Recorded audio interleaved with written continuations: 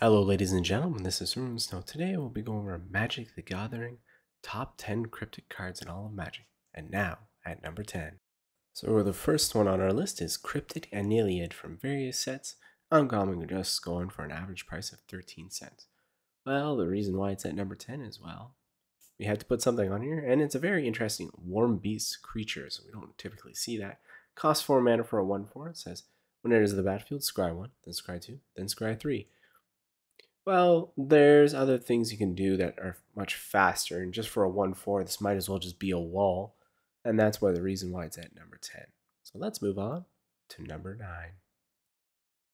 And number 9, as you just mentioned, is one of my personal favorites, is Cryptic Spires from Double Masters of 2022. It's a common going for 11 cents on the market. At the time of this video, this is fluctuating in the price value because this is the newest set that is has been released. So again, Cryptic Spires, really cool card.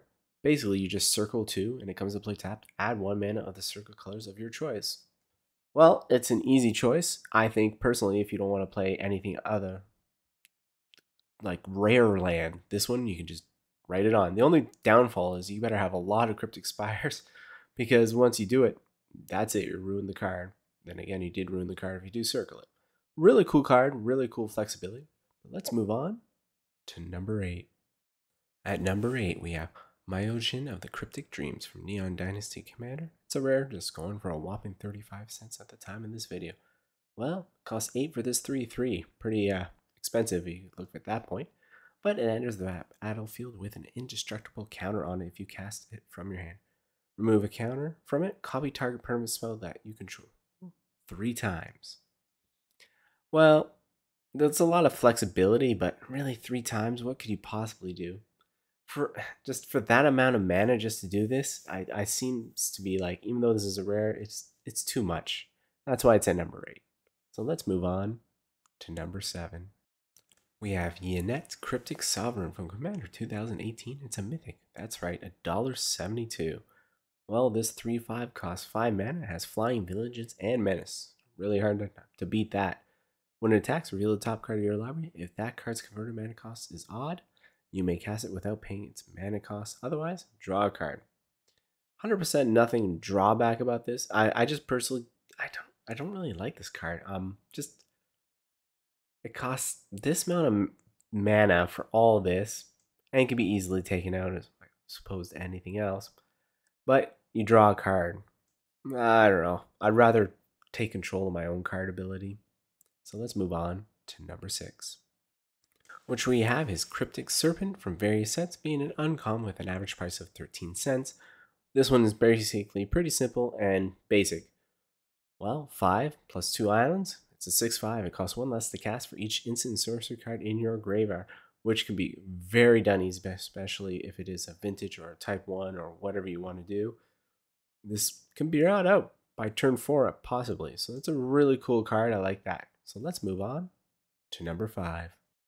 And halfway down our list is Cryptic Pursuit from New Capenna Commander Series. It's a rare gold just for 42 cents on the market. This one costs 4 mana, and while this card could be great or it could be really horrible. Whenever you cast an instant or search spell from your hand, manifest the top card of your library. Put that card onto the battlefield, face down as a 2 2 creature. Turn it face up anytime its mana costs if it's a creature card. Whenever you face down creature you control dies, exile Instead, if it's an instant sorcery card, you may cast that card until the end of your next turn.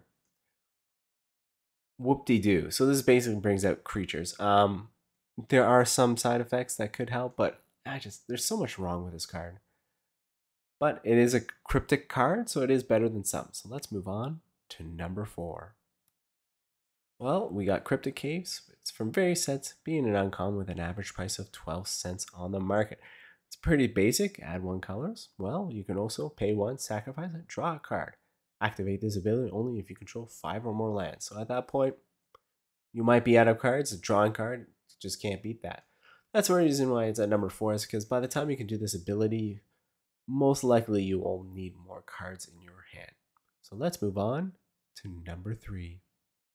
Where we have is Cryptic Trilobite from Commander 2020. It's a rare going for an average price of 36 cents on the market. And this one I put here is because it can be a creature of whatever you want, but it's also those extra abilities. So enters the battlefield with X plus one plus one counters, but it notices that it's X X on the top right. Also, you may remove a counter from it, add a two colorist to it. Spend this mana ability only to activated abilities. Pay one, put a plus one plus one counter on it. So you can just use it as a playing creature, pump it up, or use it to get more mana for those activated abilities. You can just so much you can do around with this one. So let's move on to number two. Well, we got Cryptic Gateway from Onslaught being a rare with an average price of $8.08, and we're finally starting to get to some playable and expensive cards of the top 10 Cryptic. This one costs 5 mana for this artifact. I absolutely love the artwork by David. And this one says tap two untapped creatures you control. You may put a creature card from your hand into play that shares a creature type with each creature tapped this way. Well, there's not much more to say about that. That's pretty obvious and, and explained. And for five, yeah, that can be very helpful. So let's move on to number one. Well, at the number one spot, we got Cryptic Command from various sets being a rare with an average price of $16.90. Well, look at the artwork. Look at the card. Absolutely amazing. Well, it costs only 4 mana, but it says choose 2. Counter target spell, or return target to its owner's hand, or tap all creatures your opponent controls, or draw a card. Wow. Uh, and you get to choose 2 for that 4 mana. When considering most counter spells nowadays it cost 3. This is an ultimate card that you can have fun with. Definitely controlling the board. So there is that. And that's the top 10 cryptic. So I hope you guys have a good day and a good evening.